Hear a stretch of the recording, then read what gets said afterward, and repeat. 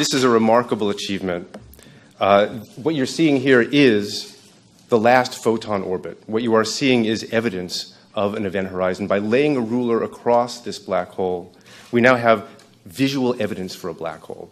We now know that a black hole that weighs 6.5 billion times what our sun does exists in, of M87. And this is the strongest evidence that we have to date for the existence of black holes.